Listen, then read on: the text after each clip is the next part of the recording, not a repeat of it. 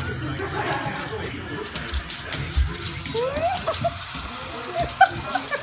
This is why your dog growls all over the place.